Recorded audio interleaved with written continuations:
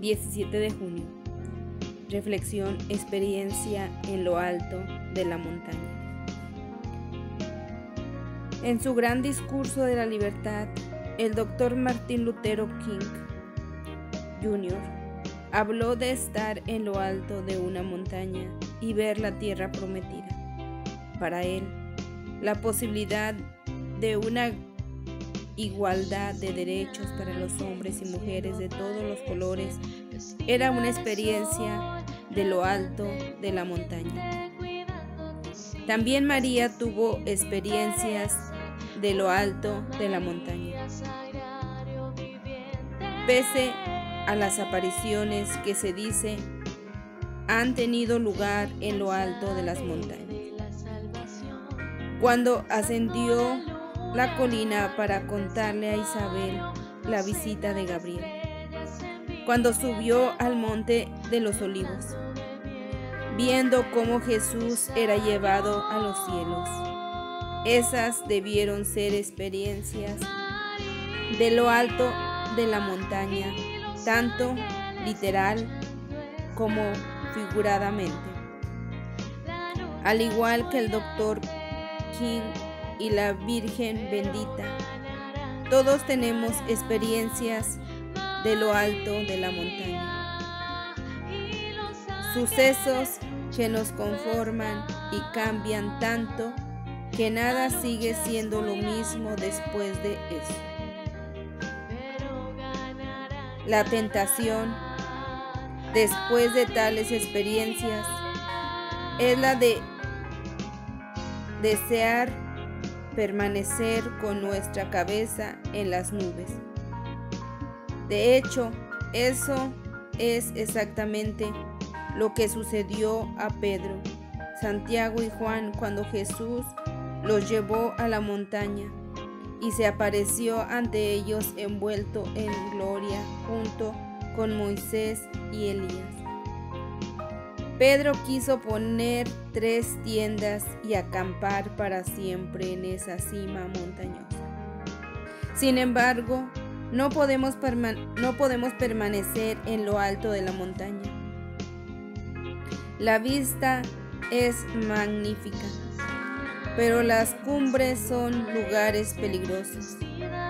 Los seres humanos no están destinados a vivir en la cima. Solo podemos visitar las cumbres, beber de su gloria y luego traer el recuerdo y la promesa de esa gloria de vuelta con nosotros a nuestros hogares de valle.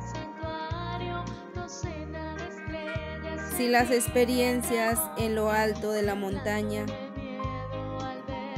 sin las experiencias en lo alto de la montaña, la vida no merece la pena vivirse. Pero debemos recordar también que la vida no puede ser vivida en ese alto.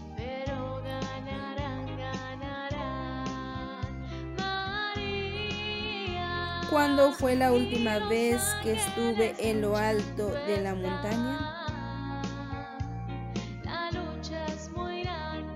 ¿Qué traje de vuelta al valle a partir de esa experiencia? Doy gracias por las montañas, los valles de mi vida. Rosa del Día, María Puerta del Cielo. Santo Rosario de hoy, número 184. Madre Santísima, es cierto que en los momentos cuando hay éxito, cuando hay felicidad, hay paz en nuestras vidas, nos sentimos en la cima de la montaña y no quisiéramos que esos momentos pasaran. Pero la vida, para poder vivirla intensamente, también debemos pasar por esos momentos difíciles. Es por eso que hoy, Virgen María, puerta del cielo, ayúdame a profesar con coherencia todas las verdades que me muestra la Iglesia Santa de Dios, para creer más en la buena nueva de Jesús, para acercarme más a Dios. Ilumíname para que pueda verte en medio de las incertezas y las oscuridades, y ayúdame a atravesar este valle de la vida con la mirada firme, los ojos puestos en tu Hijo, a quien tú nos conduces como propósito de vida.